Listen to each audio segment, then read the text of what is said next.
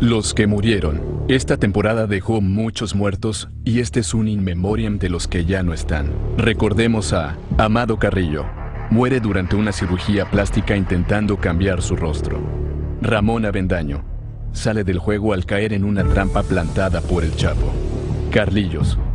Paga con su vida por haber traicionado a su patrón.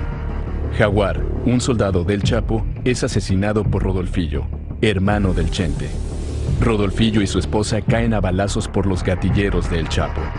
En consecuencia, el pollo, hermano del Chapo, cae en la cárcel. Y al final, debido al toque de queda instaurado por el Chapo, muere su hijo preferido, el Moreno. Pero ellos son solo una minoría comparado con las víctimas civiles, que a diario caen en el fuego cruzado de esta guerra de la que no pidieron participar.